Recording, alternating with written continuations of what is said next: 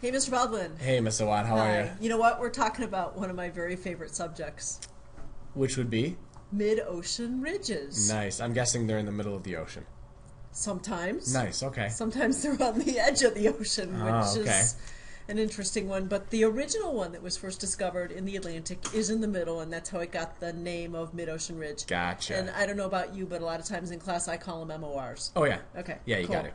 So we've got a couple of learning targets here for you guys on this section. Take a look at those before you go on and listen to the rest of the video. Cool. So if you need go. to pause, pause, rewind, rewind, all that good stuff. And don't forget to take notes. Beautiful. Thank Got you. it. All right, let's start. So we got these characteristics and the formation of them. Okay. Mm-hmm. So here's kind of that really stereotypical mid-ocean ridge. It's in the middle of an ocean, right? Yeah, in this case. Yeah. In this case. Um, so what's happening down below?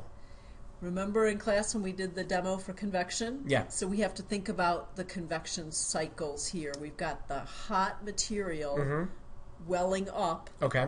In this case underneath the middle of an ocean. Okay. It's welling up just like it did in class when we had that hot material going. Mm-hmm. And when it gets to the top, it's spreading outwards. Yep. And as it does, it cools. And when it cools, it gets more dense, right? When it cools, it gets more dense. And then as it gets more dense, it's sinking back down because now it's cool. It's starting to heat up again. Yep. So when it heats up again, it comes back up again. Oh, it's like a big cycle. It's a big cycle. Cool. So realistically, what's happening here is the material's coming up from the mantle, Mm-hmm. some point in the mantle, Yeah. and it's coming up and it's making new crust. Oh, so it's making rock. In this picture, yeah, it's making new ocean crust So or cool. ocean floor material. Okay. And as the new ocean floor material is made and more of it comes up from underneath, that material has to go somewhere. So it's getting pushed outward to the sides, Okay. which is causing the ocean floor to spread open, Oh, okay. essentially from the center in this picture. Okay. So you've got that ridge line. You want to grab the cursor and show the yeah. ridge line? This ridge line right Yeah, here. that ridge yeah. line where the newest, youngest, hot material is Okay. forming, and it's pushing out towards the coastlines in this case Okay.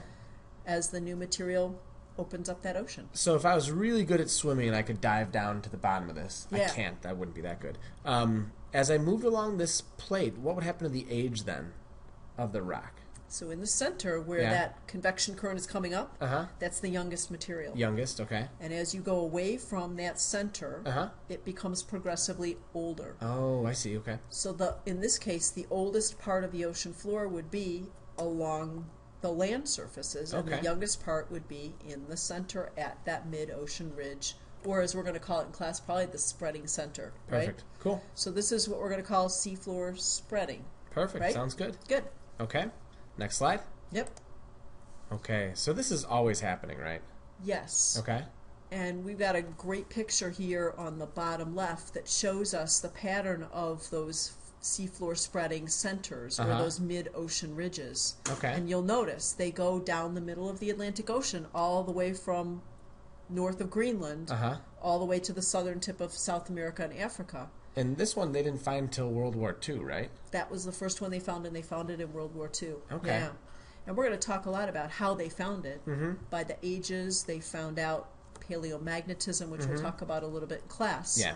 But it's also interesting to look at the patterns. So look at the red lines in the Mhm. slide. That's the middle ocean ridge. But if you look at the Pacific Ocean, for example, Oh yeah. that spreading center is not down the middle of the ocean. Mm-hmm. It's kind of on the side. Yeah. It is, yeah. The side, the eastern portion, and the southern portion. Yeah. And then look at it in the Indian Ocean because it continues over to the Indian Ocean. Oh yeah. Okay. But at any one of those spots, if you were to go diving down, so Mhm. this has been done. We use a submarine. One of them's named Alvin. Alvin. to yeah. go down and take a look at what's there. There's lots of video if you want to hop out to YouTube and look at some video of that seafloor spreading going on. Mm-hmm. All along there, what's happening is the same thing. Hot magma coming up, Mm-hmm. pouring out onto the ocean floor, Mm-hmm. And spreading out to the sides. Okay. Okay? And it says there's earthquakes here. Um, Yeah. uh, earthquakes, it's just from friction building up and then the release of that pressure, basically, right? Well, And- also, when the magma comes up, it's causing the rock to crack. Oh, okay, yeah. So it's causing the rock to crack at a shallow level, Okay. the upper portion of the crust, Mhm. and that's why the earthquakes are very shallow there. But they're also low magnitude. They're Okay. not strong earthquakes because it's just smaller cracks that are forming that allow that magma to come up to the surface. And since it's happening all the time and it's relatively young rock, it's pretty easy to break, Mm-hmm. Yeah. right? Yeah. One really nice thing is the earthquake patterns also follow those mid ocean ridge patterns. Oh, so like there's a bunch of earthquakes along this mid-ocean ridge in the Atlantic here? Yeah. Okay. So it gives us another line of evidence of where those plate boundaries, where those seafloor spreading locations are. Makes sense to me. Yeah. So another thing that's happening as that magma comes up, that hot magma comes up, and the Uh-huh. rocks are still hot for some time, Mm-hmm. is that this thing called hydrothermal vents Okay. are evolving. So you want to talk a little bit about this diagram? We can So- start in the top corner with number one there. Yeah, so we've got these cold water seeps, and they go down these little cracks in the rocks, right? Mm-hmm. And it's basically touching really hot rock at Yes. some point, right? Yeah. Okay, and so these hot rocks nearby, they get shocked because Mm-hmm. it's kind of like if you take hot glass and put it in cold water, it shocks you, break it. Right. Okay, so it cracks and it causes thousands of little earthquakes. Mm-hmm. Okay, so you get all this shaking that takes place. Yeah. Okay, and then this water it starts to move its way through the cracks and it picks up heat from the magma and it starts to really heat up because it's just touching all this really warm rock. Yeah. And once it heats up, it's got to go up, right? Yeah, and as it's heating up, it's it's actually melting some of the rock or collecting ions Mm-hmm. Yeah. From some of that rock, and it's picking up a lot of really valuable ions. So we're going Oh, to talk yeah. about hydrothermal vents when we talk about minerals Mm-hmm. and economically valuable minerals, but we're finding deposits of really valuable things like copper and rare earth elements Oh. and other kinds of things that we need as a society to create some of the materials that we're making now. Yeah, so it's not like pure water that's coming out of it. It's actually very valuable water. Very valuable water. Okay. and yeah- So once that water comes back up, Mhm.